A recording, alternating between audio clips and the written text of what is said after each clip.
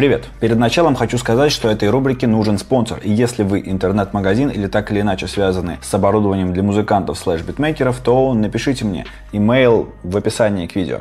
А сегодня у нас обзор вот этой звуковой карты. Это Arica SC2, то есть звуковая карта второго поколения. Я хотел сделать ее тест в играх, в FL, записать в нее звук с петлички, с гарнитуры, с микрофоном, то есть наушником с микрофоном, потому что у нее есть целых три входа, вот они, она у меня в руках. Здесь есть вход под наушники, под наушники с микрофоном и микрофонный вход, но это все, все мои вот эти желания разбились, а просто огромный камень того, что это звуковая карта кусок говна. И это был спойлер к финалу этого обзора, а теперь давайте поподробнее. Я расскажу сначала о плюсах, потом поговорим о ее минусах. И давайте поговорим о достоинствах. Самое главное достоинство этой карты, вот она, это ее звучание. В первую очередь, да, это довольно странно звучит, что звуковая карта выигрывает своим звучанием. Ну да ладно. В общем, все циферки, которые я смог на нее нарыть, расположены на ее официальном сайте, сейчас они горят на экране. В общем-то, там нет ничего интересного. Она вот так вот выглядит, то есть USB, такой вот несъемный проводок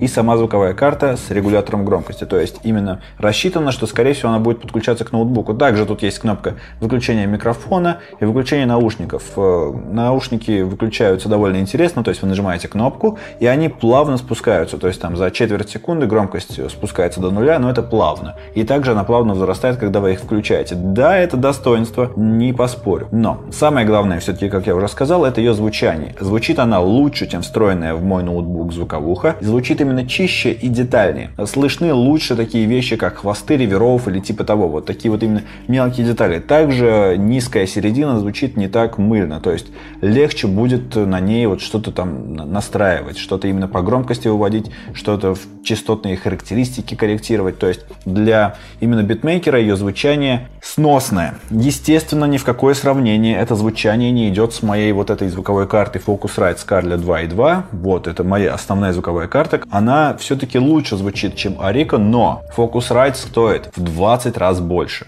в 20 раз больше, чем вот эта звуковая карта.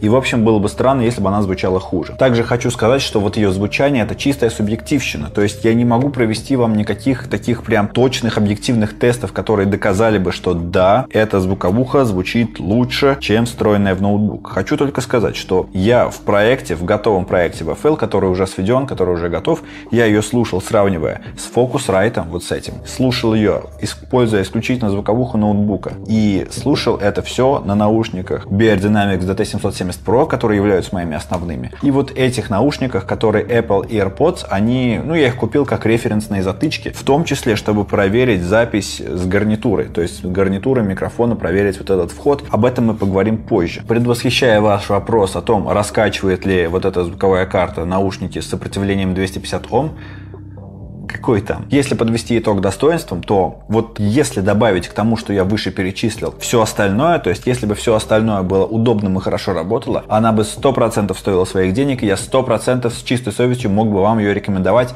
но я ее не рекомендую, и об этом мы сейчас поговорим. Итак, время поговорить о недостатках, и начнем с эргономических. Вот у меня в руках второе поколение этой звуковой карты, SC2.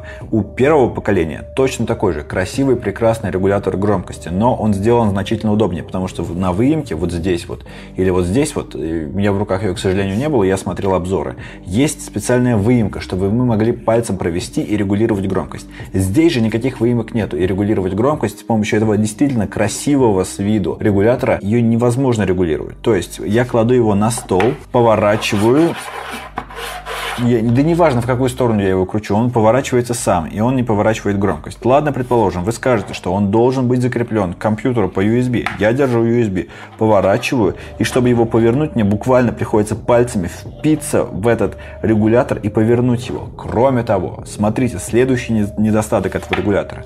Я держу его в руках на весу. И я могу нащупать его, вот минус, это самая минимальная громкость. Поворачиваю, вот она, максимальная. Вот она, да, вот дошла до максимума. Но стоит мне его положить и попытаться повернуть, и он повернется дальше. Вот он поворачивается. Дальше плюса. То есть, когда он лежит на столе, а где он еще должен лежать? Он должен лежать на столе. Он никогда не будет вот в таком положении. Когда лежит на столе, у него нету границ плюса и минуса. То есть вы не понимаете, когда громкость минимальная, когда она максимальная, вам приходится определять это на слух. Мне кажется, что это большой-большой минус для этой звуковой карты. Для сравнения, вот Focusrite.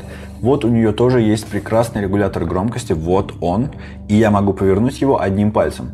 Я понимаю, что эта звуковая карта стоит как минимум в 20 раз дороже, чем вот это, но зачем платить свои собственные деньги и пользоваться тем, что кошмарно неудобно? Кроме того, вы не сможете на ней записать звук, опять же, в отличие от первого поколения. То есть, как они смогли сделать второе поколение настолько хуже? Звук записать невозможно, об этом мы поговорим чуть позже в этом видео, и регулятор громкости не выполняет свою прямую функцию. Во втором поколении Focusrite они вот здесь вот, вот здесь вот сделали насечки, чтобы пальцем было удобно удобнее одним пальцем поворачивать громкость. То есть вот это небольшой плюс. Они сделали небольшой шаг вперед, а здесь они сделали тысячу шагов назад. Вот ну зачем? Зачем? Как они второе поколение превратили в такую ерунду? Я не держал в руках первое, но я посмотрел на него столько обзоров, и, ну, как бы, все говорят о том, что звук хороший, да, я об этом тоже сказал, я заметил, что он как минимум неплохой, но вот все остальные плюсы, которые они говорили для первой части, для второй не актуальны, для второго поколения это устройство. Теперь я скажу, что именно натолкнуло меня на покупку именно вот этой звуковой карты. Первый пункт – это большой регулятор громкости, потому что однажды покрутив физическую ручку, не хочется снова трогать софтверную. Легче регулировать громкость, то есть ты ее рукой не глядя потянулся, повернул. Это круто. Второе, то, что у нее были вот эти входы для микрофона отдельно и отдельный вход для гарнитуры, то есть для наушников с микрофоном.